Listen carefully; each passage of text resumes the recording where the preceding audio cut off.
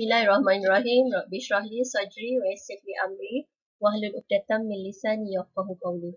Assalamualaikum warahmatullahi wabarakatuh. Apa khabar? Cikgu harap kamu semua berada dalam keadaan sihat, ceria dan gembira bersama keluarga tercinta. Jadi hari ini cikgu harap kamu sentiasa bersemangat untuk sambung pelajaran kita dalam tajuk sains eh dalam buku sains kafah tajuk yang baru iaitu tajuk yang ke-11 Uh, sebelum tu awak boleh buka buku teks sains kafah muka surat 54 eh. Okey. Tajuk 11 bahan larut dan tidak larut. Ini kita nak integratekan apa yang dah belajar masa uh, unit 8 campuran dalam buku teks sains KSSR. So jadi tajuk 11 ni kita nak tekankan lagi tentang bahan larut dan tidak larut eh. Okey, seperti biasa muka surat 54 Uh, pertama dulu awak kena buat tulis tarikh hari ni. Tarikh kita belajar pelajaran tajuk 11 ni lah. 12 hari bulan 12 tahun 2020. Tulis tarikh saja, hari tak perlu eh. Baik, potongan ayat surah Al-Furqan ayat 53 cikgu bacakan dulu kemudian awak sambung ulang ikut bacaan cikgu. A'udzubillahi minasyaitonirrajim.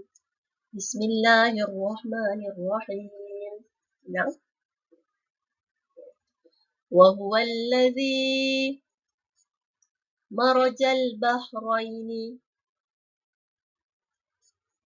هذا عزب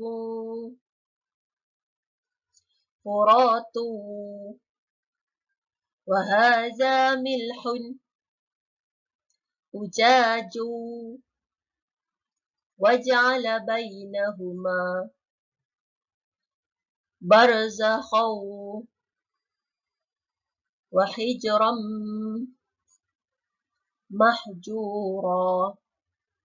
صدق الله العظيم. وهو الذي مرج البحرين. هذا عذب فرات وهذا ملح أجاج. ملح أجاج وجعل بينهما برزخا وحجرا محجورا. Surahul Azim. Maksudnya, dan dialah yang telah mengalirkan dua laut berdampingan. Yang satu tawa lagi memuaskan dahaga dan yang satu lagi masin lagi pahit. Serta ia menjadikan antara kedua-dua laut itu sempadan dan sekatan yang menyekat pencampurannya. Surah Al-Furqan ayat 53. Ingat, kita dah belajar unit 8 campuran bila kita cantumkan ataupun kita campurkan gula dengan air, dia larut dalam air. Dia bercampur, betul? Bila kita cantumkan garam dengan air biasa, larut, garam larut dalam air. Jadi, dia bercampur. Campuran apa lagi? Kita campurkan air kopi dengan air Milo. Dia larut. Dia bercampur kedua-duanya. Tapi dalam surah Al-Furqan ayat 55 menunjukkan kekuasaan Allah Ta'ala. Allah Ta'ala kata apa? Allah lah yang mengalirkan dua laut berdampingan. Awak boleh imagine ada dua laut. Satu laut yang pertama, dua laut yang kedua. Dua laut ni, satu rasa dia tawar. Yang kedua rasa dia masin. Yang tawar ni kita boleh minum. Yang masin ni terasa pahit. Sebab apa? Sebab laut yang masin itu bercampur dengan garam. So dia jadi rasa masin. Sedangkan satu lagi laut rasa tawar. Nampak? Apa kat sini yang menunjukkan kekuasaan Allah Ta'ala? Allah Ta'ala ciptakan kedua-dua laut ni berdampingan. Sama sebelah duduk sebelah menyelah. Tapi dia tidak bercampur. Dan dia tidak merubah rasa kedua-dua air laut tersebut. Subhanallah. Sedangkan kita tahu kan kalau kita campurkan dua air, dia akan bercampur kan?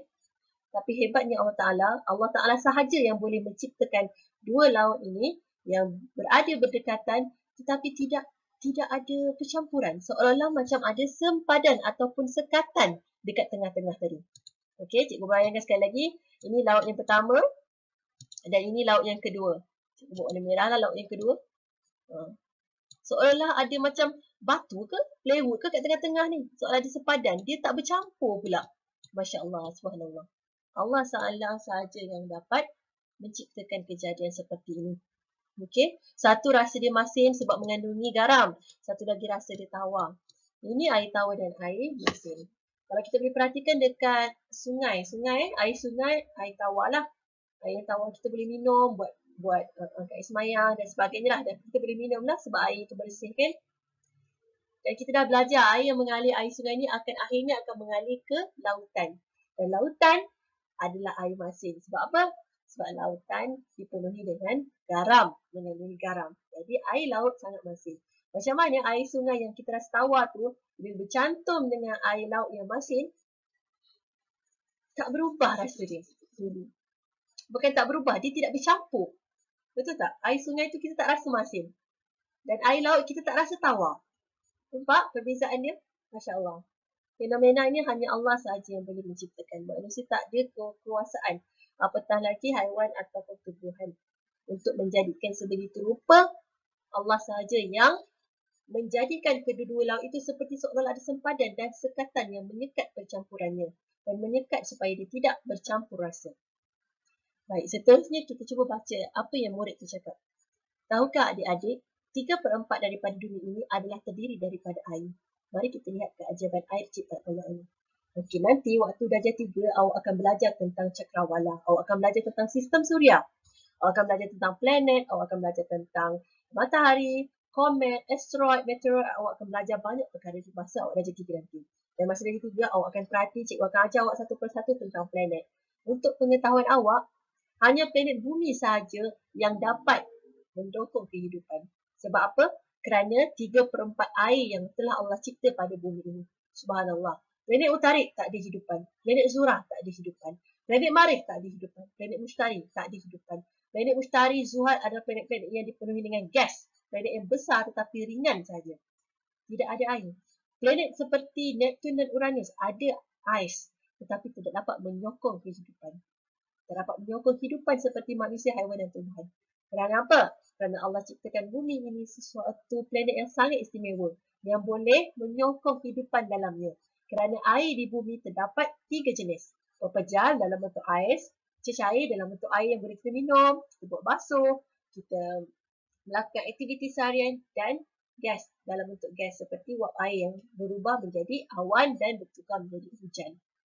Ingat tak kita belajar tu kitaran kitaran air semula jadi. Masya Allah, hanya bumi sahaja yang mempunyai banyak kandungan air sehingga dapat uh, mem mem membuat satu hidupan dekat muka bumi ni. Allah menciptakan bumi ni sangat istimewa sehingga kita boleh hidup di atas muka bumi ni. Tapi kalau kita pergi ke planet, planet lain, berubah segala-galanya. Kita tak dapat nak hidup pun di sana. Planet utarik, cuaca terlalu ekstrim. Waktu siang terlalu panas sehingga memang boleh mati. Tapi waktu malam terlalu sejuk pun boleh mati. Planet Zura terlalu panas dengan atmosfera yang terlalu tebal. Planet Marih, planet Mustari, apatah lagi. Rapuh. Eh, planet Uranus, Neptune tak payah cakap lah. Dah beku sebabkan ais. Tapi subhanallah bumi ni Allah cipta sangat indah. Allah memang ciptakan bumi ni untuk kita menjadi khalifah di atas bumi ini, menjadi pemimpin untuk mentadbir alam ni. Dan mentadbiran kita mestilah dengan sebaik-baik akhlak dan amalan. Okey? Ingat apa sahaja dalam kehidupan seharian kita mesti ke arah kebaikan, bukan keburukan. InsyaAllah semua anak-anak suci yang soleh, solehah, cikgu doakan kamu semua akan terus menjadi manusia yang berguna di atas muka bumi Allah ni sentiasa uh, menjadi uh, inspirasi kepada orang di sekeliling kita. Sentiasa berbuat baik kepada ciptaan-ciptaan Allah yang lain seperti tumbuhan dan juga haiwan. Apatah lagi manusia insyaAllah. Mesti kita pergi ke muka surat 55, aktiviti 1. Kita nak tengok. Tahukah adik-adik terdapat bahan-bahan yang larut dan tidak larut dalam air? Mari kita lihat eksperimen di bawah. Betul, Allah ciptakan air dan kita dapat lihat ada beberapa objek yang boleh larut di dalam air dan beberapa objek yang tidak larut dalam air. Apa buktinya? Macam mana kita boleh tahu dia larut ataupun tidak larut? Ha, sebagai contoh, kita masukkan garam. Okey, garam ni rasa dia masin. Air ni rasa dia tak ada sebab apalah. Rasa tawar je. Jadi kita masukkan garam dalam ni. Garam ni kita rasa macam dia hilang ke tak? Sebenarnya garam tak hilang. Ha, kita tengok garam yang kita masukkan bila kita kacau ataupun kita aduk dah tak dapat dilihat lagi selepas dikacau dalam air. Kemana hilang dia? Uh, dia bukan hilang. Sebenarnya dia dah larut dalam air. Dia dah bercampur dalam air. Gambar yang kedua, bahan tersebut masih kelihatan selepas dikacau di dalam air. Okey, material Y. Diletakkan material Y. Material Y ni atau bahan Y ni adalah batu-batu kecil. Bila dimasukkan dalam air dan dah dikacau dah pun, masih nampak batu ni. Apa masuk kat sini? Kenapa garam tadi hilang? Batu masih ada. Ini kerana ya, inilah membuktikan bahawa batu tidak boleh larut di dalam air. Tetapi garam boleh larut di dalam air. Buktinya, garam tidak kelihatan tapi batu masih kelihatan. Uh, itu contoh eksperimen yang ringkas yang kita dapat uh, membuktikan bahawa ada sesetengah objek ataupun setengah bahan dalam dunia ini larut dalam air dan ada setengah bahan yang tidak larut di dalam air. Okay, kita pergi ke muka surat 56. Aktiviti 2. Pilih gambar di bawah mengikut jawapan yang betul. Okey, yang pertama, garam. Adakah garam larut dalam air atau tidak larut dalam air? Ha, abaikan eh yang siapa yang buat garisan ni. Ha, ni abaikanlah. Ha, ni dia ada salah buat tu. Cikgu scan daripada buku siapa tak cikgu tak tahu. Okey, abaikan yang tu dibuat tu. Jangan follow dia lah. Ha. Awak kekalkan dengan jawapan awak. Okey, yang pertama garam. Adakah garam larut dalam air, tidak larut dalam air? Nah, kita dah buat eksperimen tadi ni kan. Garam larut di dalam air. Dia hilang kan. So, jadi gariskan garam larut di dalam air. Sorry. Okay, garam larut dalam air. Gariskan dia. Yang kedua, serbuk kari. Adakah serbuk kari larut dalam air? Ha, serbuk kari tidak larut dalam air. Serbuk kari sama macam tepung eh. Dia lama-lama uh, banyak-banyak letak dalam air, dia awak akan awak akan nampak uh, dia akan jadi doh ataupun gumpalan lah sebenarnya.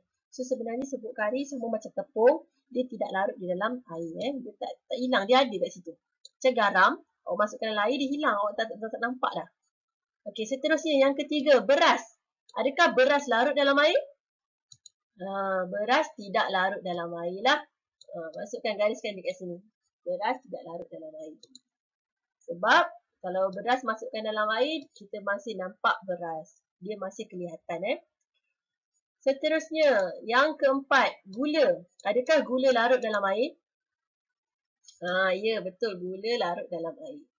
Gula sama macam garam. Bila kita kacau masukkan dalam air, kita dah tak akan kelihatan gula lagi. Ha, kalau kita nampak gula tu tak jadi, kita buat air tu tak? nampak seketul-seketul gula. Ha, tak larut lah maksudnya kalau macam tu. Tapi gula larut dalam air. Mudah untuk kita minum air yang manis sebab gula larut dalam air.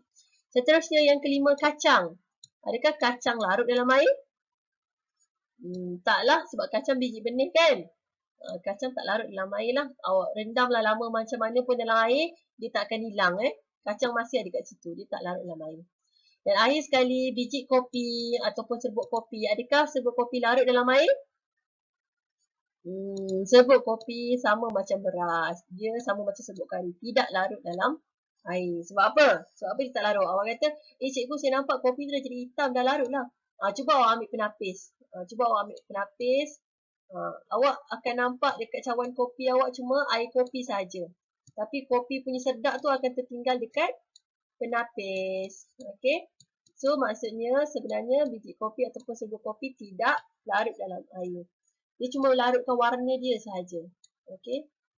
Tapi sebenarnya serbuk dia ataupun serdak dia uh, hampas kopi tu akan tertinggal dekat penapis uh, penapis awak ni. Okay. Jadi kopi tidak larut dalam air. Hanya garam dan gula sahaja dalam gambar ni. Seterusnya, muka surat 57, aktiviti 3. Setiap gelas berisi air dimasukkan bahan-bahan di bawah dan dikacau. Okey, ada satu gelas. Okey, setiap gelas ni diisi air lah. Isi air, isi air, isi air. Allah. Tidak, cikgu punya lukisan pun. Cikgu padam semula. Cikgu ambil warna biru lah. Okey, ada tiga gelas. Okey, isi air eh. Jadi buat eksperimen sendiri lah. Satu, dua. Dan tiga gelas. Okey, yang pertama dimasukkan garam. Dimasuk garam dalam ni. Yang kedua dimasukkan tepung. Dan yang ketiga dimasukkan serbuk kopi. Okey, rekodkan hasil eksperimen tersebut. Dia suruh rekodkan. Bila dia suruh rekodkan, maksudnya dia suruh catatkan keputusan eksperimen tu. Bila dia dah masukkan garam dalam ni, adakah garam hilang? Adakah garam larut ataupun tidak larut? Dan dia nak rekod rasa dia. Rasa air tu berubah ke tidak? Garam sifat dia masin. Bila dia masuk dalam air yang tawar ni, apa yang berlaku? Uh, air ni pun berubah menjadi air garam. Air garam rasa dia masin ke manis ke tawar ke masin ke pahit.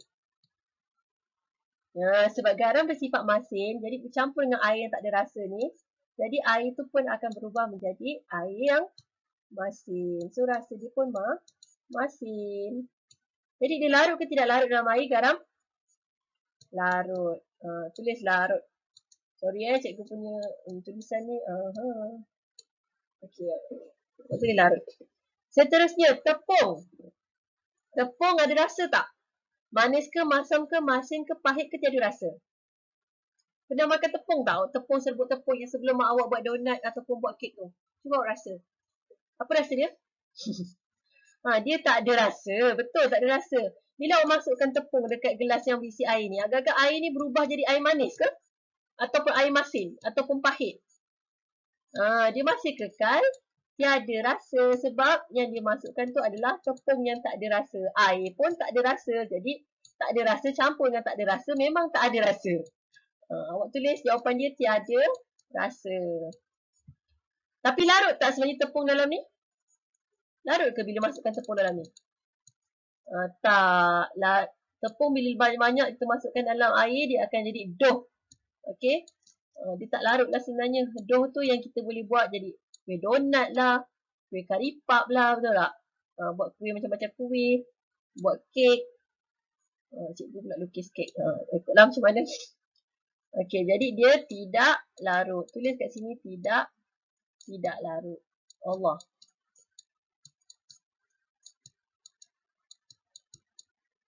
Okey, seterusnya. Serbuk kopi. Ha, tadi kita dah belajar tadi. Serbuk kopi rasa dia apa? Hmm, pahit lah bila masuk dalam air yang tak ada rasa tu, air tu pun berubah menjadi pahit. Larut ke tidak larut dalam air? Tadi kita dah belajar. Ha, tidak larut dalam air. Eh. Tidak larut. Sama macam tepung. Sebab dia akan ada hampa gas. Ataupun, ha, bukan hampa gas, sorry. Hampas. Hampas kopi tu. Serdak dia. Ha, sedap kopi maksudnya serbuk yang kita dah tak ada lagi lah. Serbuk kopi kita tak gunakan. Okey, baik. Seterusnya, cikgu padam dulu lah gambar ni.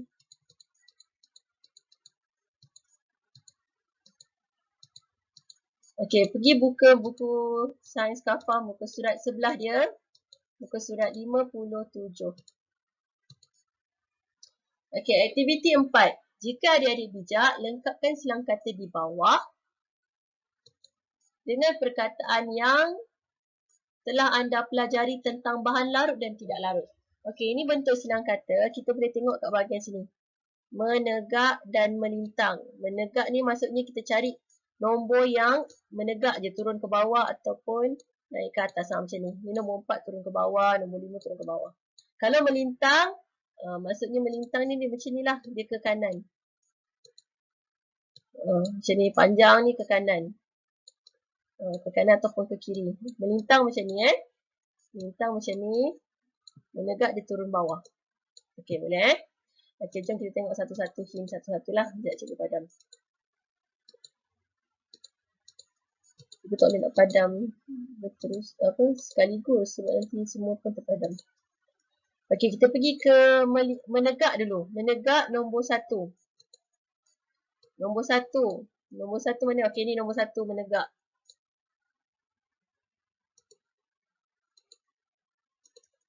Okey, yang ni eh. Ada berapa kotak? Satu, dua, tiga, empat, lima. Ada lima kotak, maksudnya ada lima huruf. Huruf yang ketiga, huruf ni huruf R. Dia dah bagi hint kat situ. Okey, dia punya hint apa? Rasanya masin. Ingat tadi kita belajar apa tadi? Apa yang rasa masin? Uh, yang ni kan? Uh, garam lah. So, masukkan garam. G, A, G, R dah dia bagi. Biarkan je. R, A, M, ram, garam. Okey, rasa dia masin. Betul. Yang keempat. Empat menegak. Cari nombor empat. Okey, sini nombor empat menegak. Satu, dua, tiga, empat, lima. Ada lima huruf juga. Lima kotak. Ada lima huruf lah maksudnya. Dia bagi huruf yang keempat iaitu huruf I. Dia kata apa? Banyak di tepi pantai. Apa yang banyak di tepi pantai? Ada huruf I. Ha, pa? Pasir. Very good. Pasir. Jadi masukkan kataan dia. Pasir. P-A-S-I-R. Pasir. Okey, betul lah sebab kedudukan I kat sini. Pasir. So, ni jawapan yang betul lah. Yang kelima, menegak. Yang kelima menegak. Okey, yang ni yang kelima menegak. Ada empat kotak, maksudnya empat huruf saja. Kotak yang ketiga dia bagi huruf P. Sejenis minuman. Minuman apa yang ada huruf P? Milo, bukan? Susu, bukan? Ada huruf P. Kopi. Very good. Bagus. Siapa yang teka betul tu betul. K-O-K-P-I-P. Kopi. Masukkan huruf dia. Okey, seterusnya kita pergi ke melintang. Okey, melintang cikgu buat warna biru lah. Okey, melintang maksudnya ke kanan eh. Kotak yang kedua. Kotak yang kedua. Cari mana kotak yang kedua. Okey, ni. Ni huruf nombor kedua dah tertutup dengan huruf G. Okey, melintang yang pertama ada empat empat huruf. Huruf pertama kita dah tulis garam tadi, kita dah tulis huruf G. Huruf kedua kosong, huruf ketiga L. Dia punya hint rasanya manis. Apa yang manis? G dengan L. Ah, ha, confirm-confirm lah gula. Betul? Gula. Okay, masukkan huruf dia. Last kali, nombor tiga melintang. Okey, ni nombor tiga. Ada berapa huruf ni? Ada berapa kotak? Satu, dua, tiga, empat, lima, enam, tujuh, lapan, sembilan, sepuluh. Ada sepuluh kotak. Sepuluh huruf maksudnya. Digunakan dalam masakan kari. Apa yang kita nak guna untuk masakan kari? Kita bagi R, K, A, R. Ah, very good. Siapa yang teka betul tu bagus. Serbuk kari jawapan dia. Ha, nak masak kari kan? Guna serbuk kari lah. Serbuk kari. Serbuk kari larut tak dalam air? Tidak larut dalam air. Serbuk kari. Okey. Ha, itulah jawapan dia untuk muka surat 58. Okey, boleh. Seterusnya kita pergi ke muka surat 9. Muka 9. Last sekali. Teguhkan iman kenali nama Allah Asma'ul Husna. Okey, hari ini kita nak belajar Asmaul Husna yang seterusnya iaitu nama Allah Al-Khabir. Apa maksud Al-Khabir? Maha bijaksana. Kalau dengar kalau ada dengar ataupun ada jumpa orang nama Abdul Khabir, maksudnya hamba Allah yang maha bijaksana. Okey. Maha bijaksana Allah yang menjadikan segala kejadian dengan pelbagai faedah untuk dinikmati oleh makhluk-makhluknya di muka bumi ini. Masya Allah. Allah lah Tuhan yang maha bijaksana. Dia tidak menciptakan sesuatu penciptaan itu dengan sia-sia. Maha suci Allah, Masya Allah. Terima kasih ya Allah kerana kemurahanmu kami dapat menikmati segala keperluan dengan sempurna. Betul kan? Kalaulah gula tidak larut dalam air, tercekik tak kita agak? Tersedak gitu ke tak? Dia punya cip-cip tu tak masuk. Ha, terbatuk-batuk gitu minum. Ataupun garam. Ataupun apa lagi yang tak larut dalam air. Kita nak buat nak buat apa-apa lauk lah memasakan pun, kita akan tersedak. Sebab tidak ada bahan yang boleh larut dalam air. Sebenarnya Allah ciptakan banyak benda bahan, sifat-sifat bahan ini hanya untuk semata-mata mendatangkan kebaikan untuk kita manusia. InsyaAllah kita kena ucapkan sentiasa ucapkan rasa syukur. Rasa terima kasih kepada Allah Ta'ala. Allah Ta'ala Tuhan kita ni dia ciptakan kita bukan sia-sia dan dia ciptakan kita dengan satu perancangan yang sangat baik. Dia sangat bijak dalam mengatur urusan kehidupan kita. Cuma tinggal kita nak berbuat kebaikan ataupun nak berbuat kejahatan. Nak uh, taat kepada perintah Allah Ta'ala atau nak tinggal, nak um, uh, buat larangan dia. Uh, itu pilihan kita. Allah dah kurniakan kita akal untuk berfikir. Adakah kita bijak dalam memilih keputusan dalam kehidupan kita? Ingat eh, dalam kehidupan kita sehari, kita buat keputusan hampir 300 keputusan sehari. Betul? Awak bangun tidur, awak nak bangun ke tidak? Itu awak putuskan. Kau nak pergi, awak nak tidur je tak nak pergi sekolah. Uh, itu awak yang buat keputusan. Awak nak bangun tidur uh, dengan cepat, awak nak solat, nak mandi tanpa kena marah dengan ibu atau awak nak kena marah dengan ibu. Uh, awak yang buat keputusan tu.